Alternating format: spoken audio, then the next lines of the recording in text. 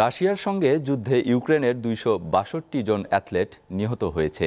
এছাড়া রুশ হামলায় তিনশো তেষট্টিটি ক্রীড়া অবকাঠামো ধ্বংস হয়েছে বলে জানিয়েছেন ইউক্রেনের ক্রীড়ামন্ত্রী ভাডিম হাটসাইট। তিনি বলেন, রাশিয়ার কোনো খেলোয়াড়কে অলিম্পিক বা অন্যান্য প্রতিযোগিতায় অংশগ্রহণের অনুমতি দেয়া উচিত নয়। এদিকে রবিবার রাশিয়ার গোলাবর্ষণে বাখমুতের কাছে একটি শিল্প শহরে অন্তত ছয়জন নিহত হয়েছেন বলে দাবি করেছে ইউক্রেন সরকার। এছাড়া ক্ষেপণাস্ত্র ও রকেট হামলায় শিক্ষা প্রতিষ্ঠানসহ বেশ কয়েকটি ভবন ক্ষতিগ্রস্ত হয়েছে।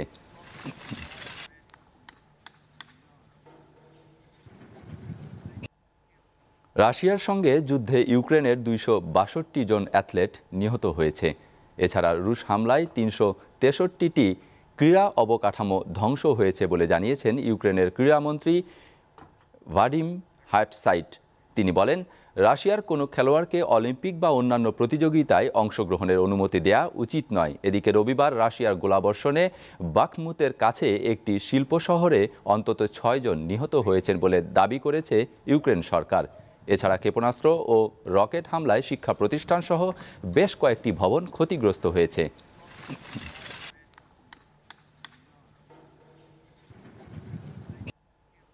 রাশিয়ার সঙ্গে যুদ্ধে ইউক্রেনের দুইশো বাষট্টি জন অ্যাথলেট নিহত হয়েছে। এছাড়া রুশ হামলায় তিনশো তেষট্টিটি ক্রীড়া অবকাঠামো ধ্বংস হয়েছে বলে জানিয়েছেন ইউক্রেনের ক্রীড়ামন্ত্রী ভাডিম হাটসাইট।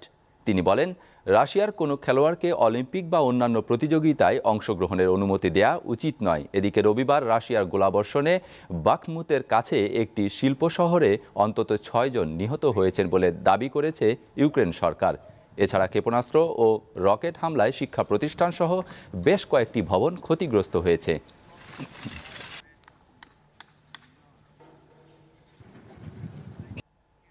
রাশিয়ার সঙ্গে যুদ্ধে ইউক্রেনের দুইশো বাষট্টি জন অ্যাথলেট নিহত হয়েছে। এছাড়া রুশ হামলায় তিনশো তেষট্টিটি ক্রীড়া অবকাঠামো ধ্বংস হয়েছে বলে জানিয়েছেন ইউক্রেনের ক্রীড়ামন্ত্রী ভাডিম হাটসাইট।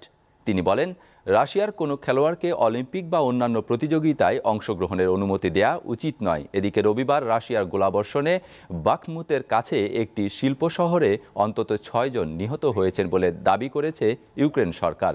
এছাড়া ক্ষেপণাস্ত্র ও রকেট হামলায় শিক্ষা প্রতিষ্ঠানসহ বেশ কয়েকটি ভবন ক্ষতিগ্রস্ত হয়েছে।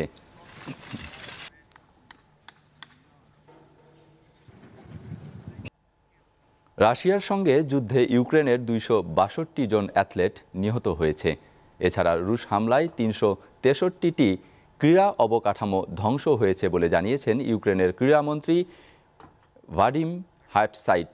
তিনি বলেন, রাশিয়ার কোনো খেলোয়াড়কে অলিম্পিক বা অন্যান্য প্রতিযোগিতায় অংশগ্রহণের অনুমতি দেয়া উচিত নয়। এদিকে রবিবার রাশিয়ার গোলাবর্ষণে বাখমুতের কাছে একটি শিল্প শহরে অন্তত ছয়জন নিহত হয়েছেন বলে দাবি করেছে ইউক্রেন সরকার। এছাড়া ক্ষেপণাস্ত্র ও রকেট হামলায় শিক্ষা প্রতিষ্ঠানসহ বেশ কয়েকটি ভবন ক্ষতিগ্রস্ত হয়েছে।